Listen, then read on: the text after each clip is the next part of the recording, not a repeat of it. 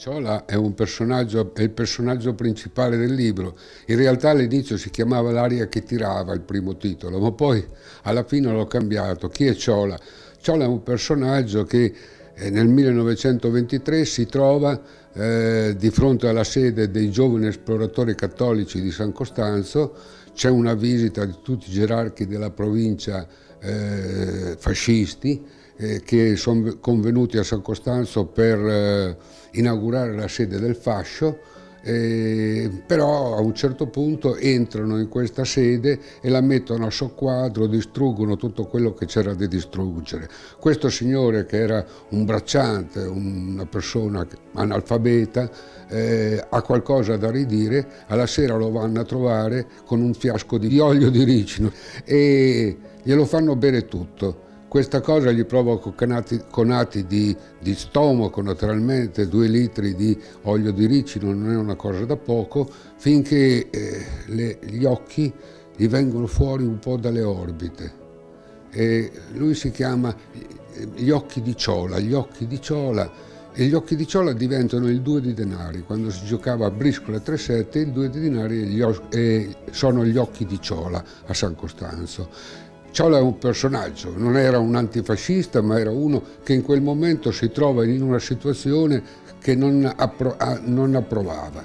Il libro nasce intorno a tutta una serie di, eh, di, ricordi, di memorie collettive che si sono sedimentate fra l'8 e il Novecento in paese e riguardano eh, diverse, diversi episodi, tesori nascosti, partenze, di emigrati che non ritornano mai più in paese, riguardano eh, un prete castrato che diventa un compositore, una voce bianca molto famosa in Portogallo, riguardano riguarda un omicidio politico nel 1921 e tutta una serie di storie che i vecchi mi hanno raccontato, un centinaio di testimonianze raccolto e poi è passato del tempo, è venuto il Covid e io ho pensato di metterlo bene sulla carta e poi è stato pubblicato. Ecco, è una serie di memorie collettive che danno l'identità, il senso di identità di quello che era un paese. Era perché ormai i paesi non sono più la stessa cosa.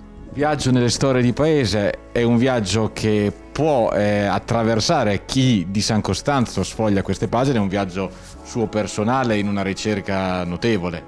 Sì, eh, ma è un viaggio che non interessa soltanto i San Costanzesi. Sono stato fino all'ultimo indeciso se mettere il nome del paese o non metterlo.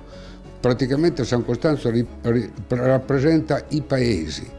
Storie di questo genere fanno parte di quel bagaglio culturale che ogni paese porta con sé.